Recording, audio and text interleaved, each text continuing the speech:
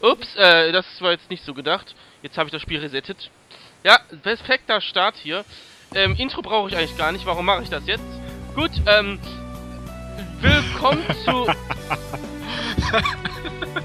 Was machst du denn da jetzt so scheiße? okay. Sorry, fahr weiter fort. Da hat, hat einer Lachflash bekommen. Äh, keine Ahnung, wer das war. Es war natürlich nicht der Onkel Wolf. Nein, äh, natürlich nicht. Nee, natürlich nicht, wer soll es denn sonst sein? Übrigens bist du gerade ein bisschen leise gewesen. Sorry. Äh, ja. Gerade mal eine Minute und schon der erste Flachflash. Fängt ja geil an. Genau, okay. Ähm, gut, jetzt warst du wieder näher am Mikro, glaube ich. Jetzt habe ich dich wieder besser verstanden. Jedenfalls herzlich willkommen zu Let's Play Rosenkreuz, die Lette Freudenstachel im Sterblich-Mode. Äh, ich fange mit dem Prolog an. Ich spiele sie mal Card Mode, da wir eh hier äh, Dingens haben. Äh, Japanischen Text. genau, ja. Und vielleicht sollte ich mich auch mal vorstellen. Servus Leute, ich bin der Onkel Wolf. Das habe ich ja gerade gesagt, dass er das ist, ne? Falls ihr es noch nicht wisst, jetzt wisst ihr es wirklich. Also wirklich bestätigt, dass er es ist. Äh, naja, vielleicht auch nicht. Vielleicht hast du auch nur taube Zuschauer. Das könnte natürlich sein, aber ja. Ich meine, welcher. Moment mal, wenn Zuschauer taub ist, guckt er doch keine Let's Plays, ne? Doch, dann guckt er Walkthroughs. Ganz, Ja. ganz schlechte. Okay, aber die sind dann auch ohne Ingame-Sound. Ja. Aber dann sieht er einfach nur so, oh, er stirbt, er stirbt. Nein, da höre ich mir den Sound lieber nicht an. Gut, jedenfalls haben wir hier ähm, Freudia. Ähm, Dass sich Ja. jetzt überhaupt freuen Laufe Genau. Massakers. meine Tochter. Wie jeder weiß, ich bin der Papa. Hm, ich der Onkel. Ja, Wie auch genau. jeder weiß. Genau. Das Ja. war jetzt un unbeabsichtigt, aber trotzdem. Also bist du Und mein. Bruder? Okay, wusste ich noch nicht, aber gut zu wissen. Und äh, ja, Ja, sprich nur zuerst einen Satz zu Ende, dann sag ich mal. gut. Ähm, wie wir hier sehen können, haben wir hier einen äh, Instant Death Mode. Das heißt, ähm, man ist relativ schnell tot. Oder irre ich mich jetzt?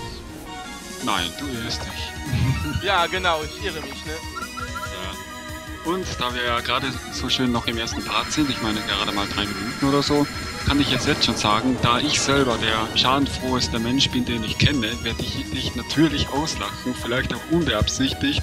Und natürlich wirst du mich dann wieder anfluchen. Ja. Aber ich kann jetzt schon sagen, ich leide mit dir und es ist nicht böse gemeint. Also Nein, Nicht. natürlich nicht. nicht, dass die Zuschauer da was falsch verstehen und meinen, dass ich mich nur über andere Leute lustig machen kann. Und äh, spielst du selber Wolf? Äh. Er will sich nur über andere Zuschauer, über andere Spieler lustig machen, der Onkel Wolf. Ja, ich mag mich über die Zuschauer lustig. Haha, du hast den ausgelacht. Haha. Ja, genau. Ja, jedenfalls gut. Ähm, ja, jetzt sind wir schon mal beim Prolog-Boss hier. Äh, ja. Der ist eigentlich relativ, eigentlich nicht schwer, ne? Weihnachtsfrau, wie immer. Vor allem, was ich mir gedacht habe, wie kommt der Weihnachtsmann, so ein alter, fetter Knacker, der schon seit Jahrhunderten lebt, wie kommt der an so eine, so eine junge, hübsche Frau ran? Vielleicht ist es nur seine Tochter. Oder vielleicht hat er sie irgendwann mal entführt, so, boah, gerade unterwegs war, Päckchen austragen, und dann liegt die so im Bett und hat sich gedacht, hm, die nehme ich gleich mal mit, weil die Kinder was bekommen.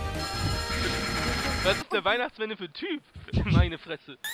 Ja, einer mit gutem Geschmack, wenn ich mir die Mädels hier so ansehe. Ja, äh, genau. Und Freudia ist meine Tochter, muss ich dazu sagen. Mein Fleisch und Blut. Ich Ja, hab bald- erzeugt. Bald wird sie in dein Blut getränkt werden, wenn sie fehlt. ja, genau. Äh, ja, mit wem fange ich denn an? Ich würde sagen, ich fange mit Lust an, weil die ist relativ einfach. Ja, hast du ja überhaupt nicht in der Testaufnahme oder so gehabt. Nein. Ach ja, stimmt, ich habe gerade eine Testaufnahme gemacht, stimmt. Eine, du hast ganz viele gemacht.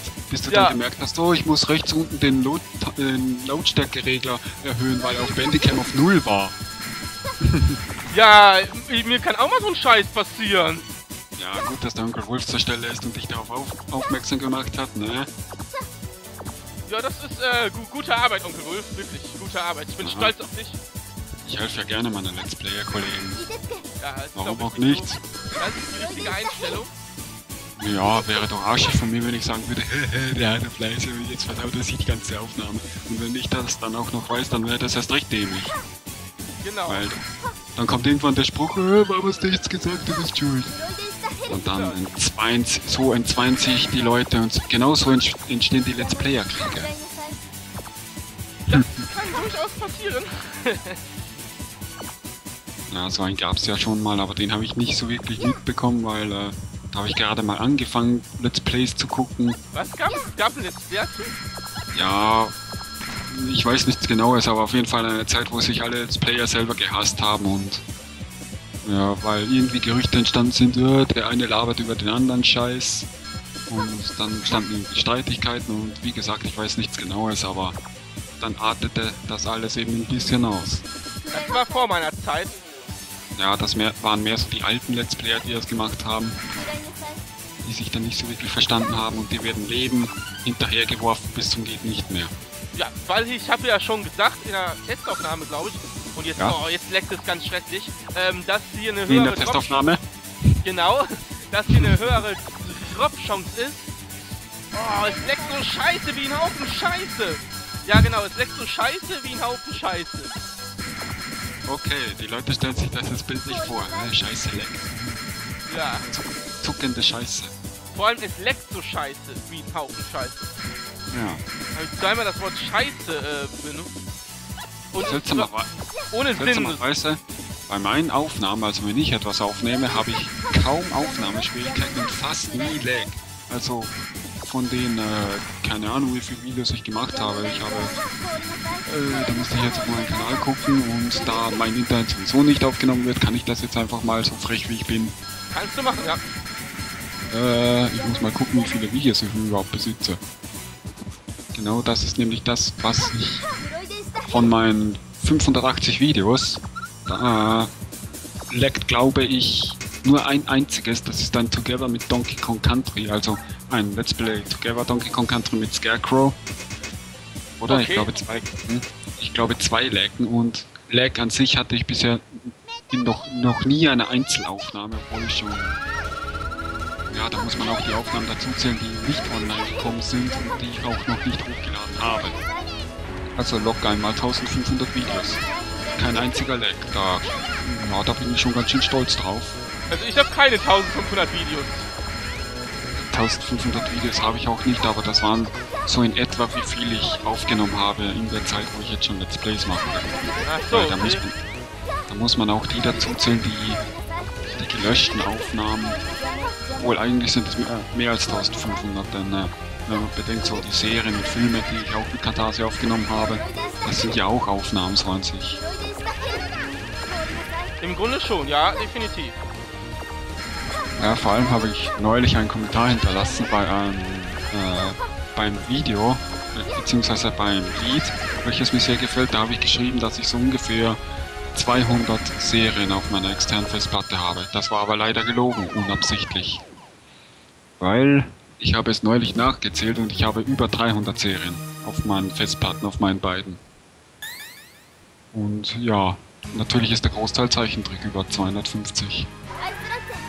Ah so, ja, okay. Das hast du aber, glaube ich, schon mal erwähnt. Hm, Glaube ich zwar nicht, aber nun gut, wenn du meinst. Oh, eine Eisplatte. Stell dich drauf, schwimm vom Atlantik aus sonst wohin. Ah, jetzt meldet der Kollege sich wieder. Okay, das ist gut, weil jetzt ist eh gleich hier ein Cut äh, fällig. Ja.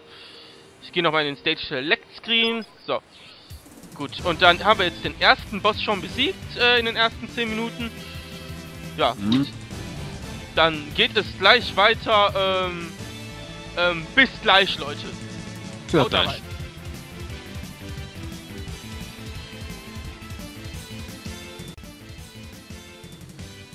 So, und weiter geht's mit Let's Play Rosenkreuz. Stilette Freudenstachel im Sterblich-Mode. Ich habe den Ingame-Sound etwas runtergedreht in der Zwischenzeit, weil er vielleicht auch einen kleinen Ticken zu laut war. Ich hoffe, diesmal ist er nicht zu leise. Kontrolliere ich nach der Aufnahme.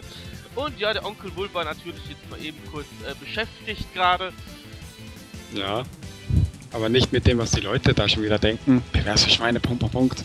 Nein, äh, ich habe kurz mit einem ich habe kurz mit einem anderen Kollegen was gemacht, so äh, weil er gemeint hat, er macht ein Interview mit mir und da habe ich gesagt, ja, okay, warum nicht? Und wegen technischen Schwierigkeiten hat das jetzt etwas länger gedauert.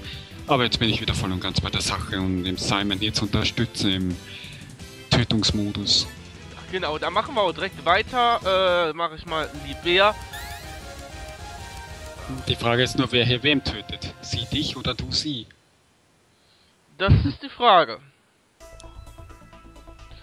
So. Schnee. Wie schön. Äh, verdammt. Eig eigentlich Ja. überhaupt nicht.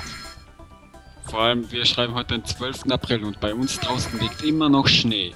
Ja, ich weiß, es klingt verrückt, aber ich komme mir schon so langsam vor, als ob ich in der, Anta in der Antarktis wohne.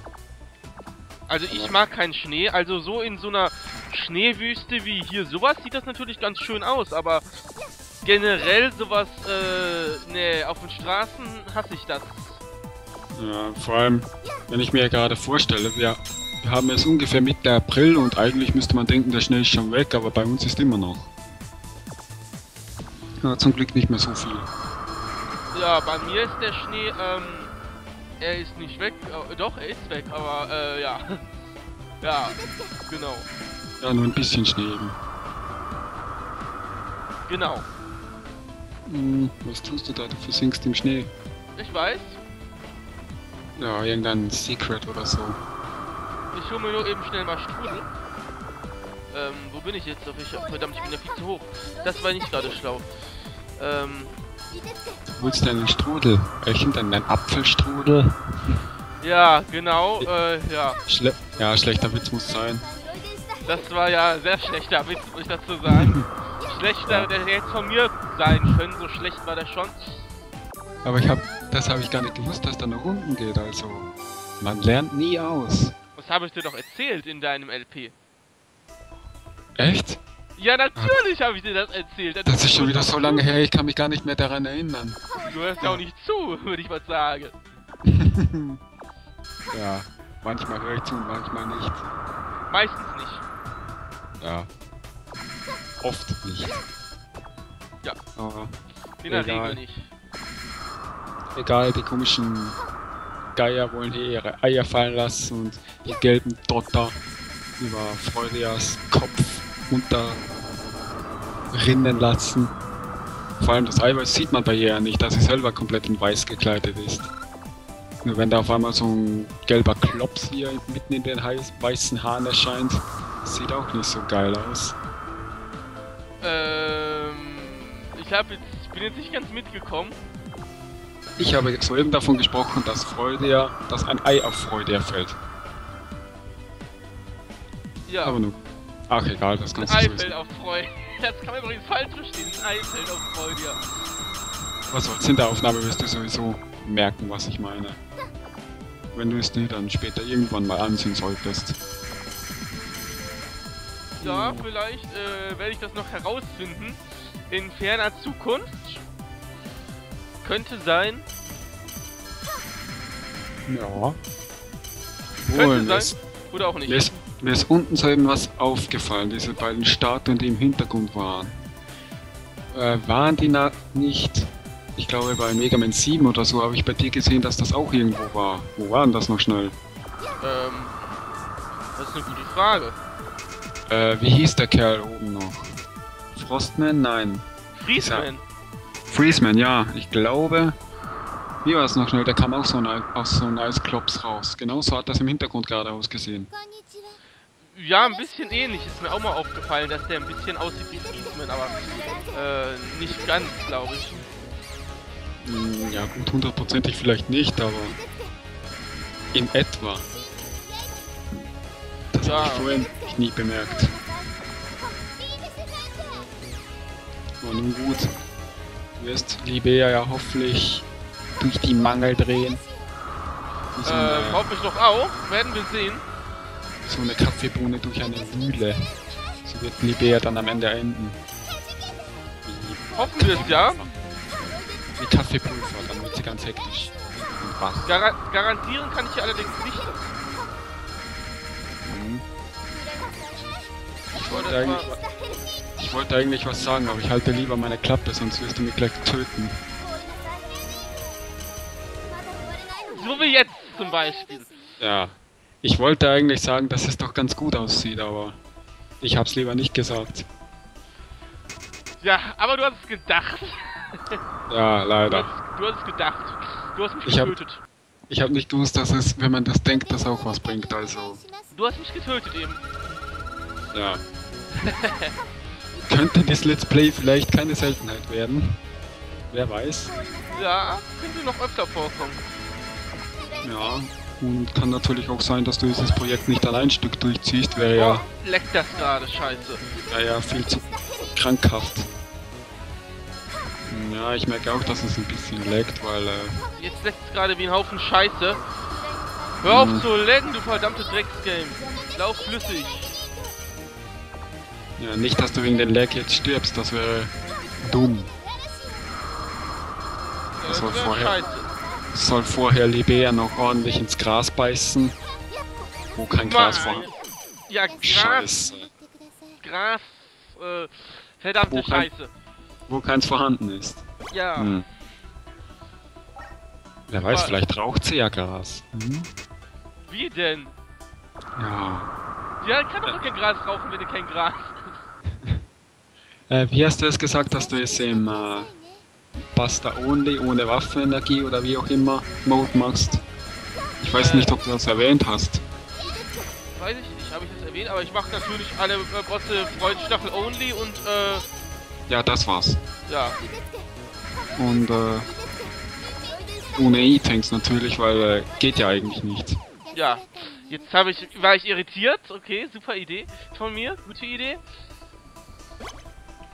Hm. Ja, ist schon irgendwie seltsam. Aber nun gut. Nach keine Ahnung wie viel Versuchen willst du die auch raushaben. So, jetzt aber mal ernst. Jetzt mal ernst.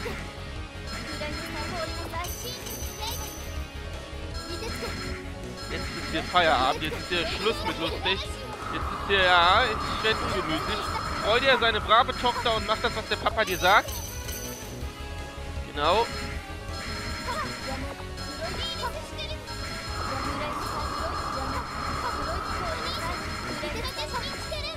Okay.